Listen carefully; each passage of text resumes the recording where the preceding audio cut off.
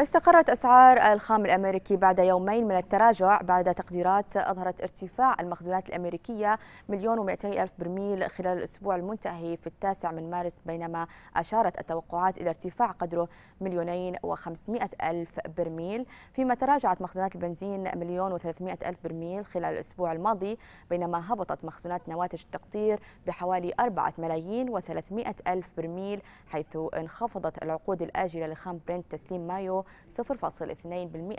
إلى 64 دولار و53 سنت للبرميل بينما استقرت عقود الخام الأمريكي تسليم أبريل عند 60 دولار و72 سنت للبرميل